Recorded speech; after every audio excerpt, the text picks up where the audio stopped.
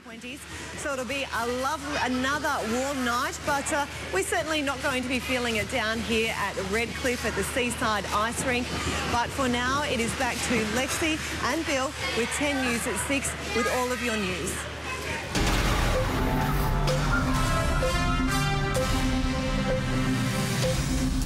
Tonight, a father's apology for causing traffic chaos in a desperate bid to see his son.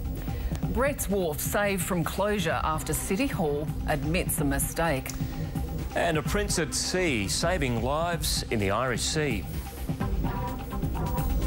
Well, the upgrade to congested Kingsford Smith Drive has been deferred at, until at least 2015. Tim Collett is at Hamilton. And Tim, uh, there are winners and losers with this decision.